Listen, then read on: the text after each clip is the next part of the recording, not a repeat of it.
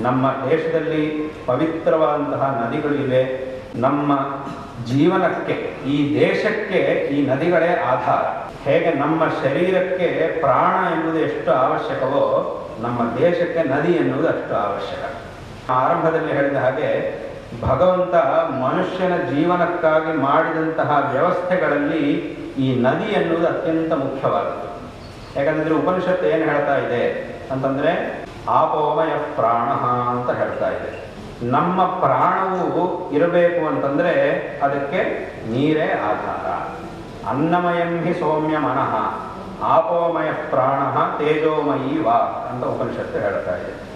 ಅಂದ್ರೆ ನಮ್ಮ ಪ್ರಾಣ ಉಳಿಬೇಕು ಅಂತಂದ್ರೆ ಅದಕ್ಕೆ ನೀರು ಅನ್ನೋದು ತುಂಬಾ ಅವಶ್ಯಕ.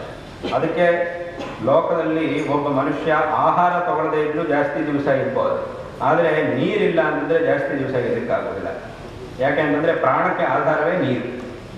ಹಾಗಾಗಿ ಇಂತಹ ಪವಿತ್ರವಾದಂತಹ ನದಿಗಳು ನಮ್ಮ ದೇಶದಲ್ಲಿ ಅನೇಕ ಇವೆ. ಈ ನದಿಗಳು ಬರೀ ಏನೋ ನಮ್ಮ ಉಪಯೋಗಕ್ಕೋಸ್ಕರ, ದೈನಂದಿನವಾದ ಉಪಯೋಗಕ್ಕೋಸ್ಕರ ನೀರನ್ನು ಕೊಡುವಂತಹ ಜಲಾಶಯಗಳು ಮಾತ್ರ ಅಲ್ಲ, ಈ ನದಿಗಳು ದೇವತಾ ಸ್ವರೂಪಗಳು. ಹಾಗೇನ ನಾವು ಪುರಾಣಗಳಲ್ಲಿ ನೋಡಿದರೆ ಎಷ್ಟೋ ಜನರು ದೇವತೆಗಳು, ಮಹರ್ಷಿಗಳು, ಮಹಾಪುರುಷರೆಲ್ಲರೂ ಸಹ ಆಯಾ ನದಿಗಳು ಪ್ರವಹಿಸುವಂತಹ ಪ್ರದೇಶಕ್ಕೆ ಹೋಗಿ ಆಯಾ ನದಿಗಳನ್ನು ಸ್ತುತಿಸಿ, ಆ ನದಿಗಳಲ್ಲಿ ವಿಶೇಷವಾದ ಪುಣ್ಯ ಸ್ನಾನಗಳನ್ನು ಮಾಡಿದರು. ಮತ್ತು ರಾಮಾಯಣದಲ್ಲೂ ಸಹ ಶ್ರೀರಾಮಚಂದ್ರ ಸ್ವಾಮಿ ವನವಾಸಕ್ಕೆ ಹೋಗುವಾಗ ಒಂದೊಂದು ನದಿಯನ್ನು ದಾಟುವ ಸಂದರ್ಭದಲ್ಲಿ ಸೀತಾದೇವಿ ಆ ನದಿಯ ನದಿಗಳನ್ನು ಪ್ರಾರ್ಥನೆ ಮಾಡುವಂತಹ ಒಂದು ಸಂದರ್ಭ ನಮಗೆ ಕಾಣು, ಕಂಡುಬರುತ್ತೆ. ನಮಗೆಲ್ಲ ಒಳ್ಳೆಯದಾಗಬೇಕು ಅಂತ ಆ ಸೀತಾದೇವಿ ಆಯಾ ಸಂದರ್ಭಗಳಲ್ಲಿ ಆಯಾ ನದಿಗಳನ್ನು ಪ್ರಾರ್ಥನೆ ಮಾಡ್ತಾ ಇರ್ತಾಳೆ. ಅದು ಸಹ ಒಂದು ಸಂದರ್ಭ ರಾಮಾಯಣದಲ್ಲಿದೆ. ಹಾಗಾಗಿ ಸಾಧಾರಣವಾದ ಬುದ್ಧಿಯಿಂದ ಇದು ಕೇವಲ ನದಿ ಅಷ್ಟೇ, ಇದು ನೀರು. ಇಲ್ಲಿ ಅದಕ್ಕಿಂತ ವಿಶೇಷಣೆ ಏನೂ ಇಲ್ಲ. ಎಂಬ ದೃಷ್ಟಿಯಿಂದ ನಾವು ಆ ನದಿಯಲ್ಲಿ ಸ್ನಾನ ಮಾಡಿದರೆ ಅದರಿಂದ ಕೇವಲ ನಮ್ಮ ಶರೀರದ ಮೇಲಿರುವಂತಹ ಮಾಲಿನ್ಯ ಮಾತ್ರವೇ ಹೋಗುತ್ತೆ. ಆದರೆ ಇದು ಪವಿತ್ರವಾದಂತಹ ದೇವತೆ ಈ ನದಿಗೊಂದು ಅಧಿಷ್ಠಾತ್ರಿಯಾಗಿರತಕ್ಕಂತಹ ದೇವತೆ ಇದೆ. ಹಾಗಾಗಿ ಇದು ಅತ್ಯಂತ ಪವಿತ್ರವಾದದ್ದು. ಈ ನದಿಯಲ್ಲಿರುವಂತಹ ಪ್ರತಿಯೊಂದು ಬಿಂದುವು ಅತ್ಯಂತ ಪವಿತ್ರವಾದದ್ದು.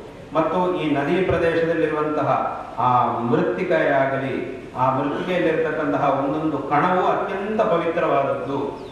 ಎಂಬ ಶಾಸ್ತ್ರೀಯವಾದ ದೃಷ್ಟಿಯಿಂದ ನಾವು ಆ ನದಿಯಲ್ಲಿ ಸ್ನಾನವನ್ನು ಮಾಡಿದರೆ, ಪುಣ್ಯ ಸ್ನಾನಗಳನ್ನು ಮಾಡಿದರೆ, ಅದರಿಂದ ಕೇವಲ ನಮ್ಮ ಶರೀರದ ಮಾಲಿನ್ಯ ಮಾತ್ರ ಅಲ್ಲ, ನಮ್ಮ ಒಳಗಿರತಕ್ಕಂತಹ, ನಮ್ಮ ಮನಸ್ಸಿನಲ್ಲಿರ್ತಕ್ಕಂತಹ ಮಾಲಿನ್ಯವು, ನಮ್ಮ ಪಾಪವೂ ಸಹ, ಎಷ್ಟೋ ಜನ್ಮಗಳಲ್ಲಿ ಸಂಚಿತವಾಗಿರ್ತಕ್ಕಂತಹ ಪಾಪವೂ ಸಹ ನಾಶವಾಗಿ ನಮಗೆ ಅನಂತವಾದಂತಹ ಪುಣ್ಯವು ಪ್ರಾಪ್ತವಾಗುತ್ತೆ. ಹಾಗಾಗಿ ಅಂತಹ ಒಂದು ಮಹತ್ವ ಈ ಪವಿತ್ರ ಗಂಗಾ ಯಮುನಾ ಮೊದಲಾದಂತಹ ಪವಿತ್ರವಾದ ಇದೆ. ಹಾಗಾಗಿ ಈ ನದಿಗಳನ್ನು ನಾವು ಚೆನ್ನಾಗಿ ಕಾಪಾಡಿಕೊಳ್ಳಬೇಕು ನಮ್ಮಿಂದ ನದಿ ಯಾವತ್ತೂ ಕೂಡ ಮಲಿನವಾಗಬಾರದು.